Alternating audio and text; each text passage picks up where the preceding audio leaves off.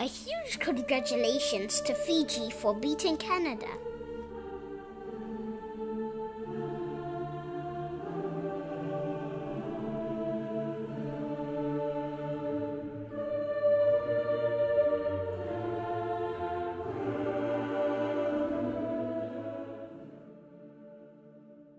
Fiji played outstandingly.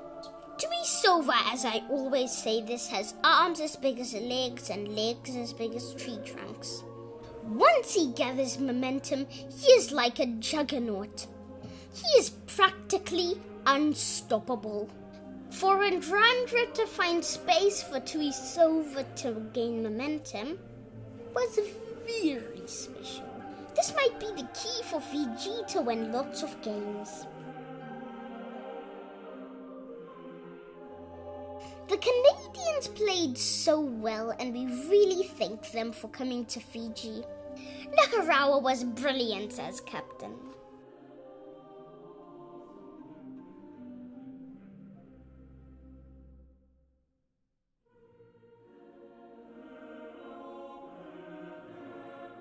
Also, behind the scenes, I have a feeling this is all going in the right direction. Also, if I'm not mistaken, Fiji has had the same coach two World Cups in a row. Red Johnson told us that continuity is a very good thing. Stability is a big thing. Yes. Mm-hmm. And the players get to trust Yep. the coach Yep. and get to know the systems. Yep. And uh, yeah, good luck to him for this World Cup because he, um, he deserves a lot of credit. All our team needs is the support from all of us. Regular time together to bond. And more regular competition from other top teams. And I'm sure great things will happen. Vinaka Vakalevu and more there.